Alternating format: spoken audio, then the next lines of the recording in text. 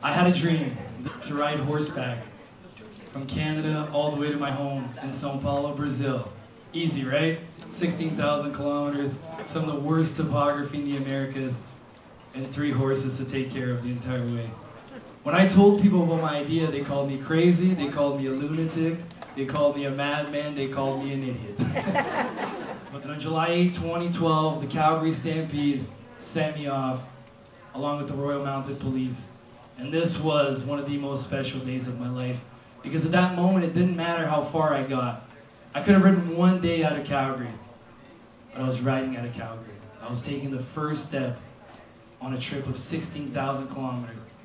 And two years before this, I didn't have anything. And those two horses, Frenchie and Bruiser, were given to me.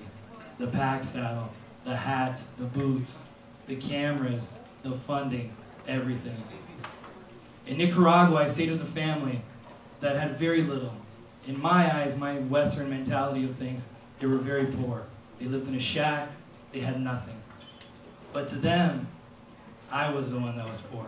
Because I didn't have my family, I didn't have a roof over my head, I was alone. And they took me in and they had one chicken that they were saving for Christmas time. And they butchered that chicken to feed me that night. But I'm doing a one hour talk at Horse Experience this summer, happening at the Orangeville Event Center July 13th. It's a month-long showcase of horses in Canada, and there are over 40 events throughout the month of July. Thank you.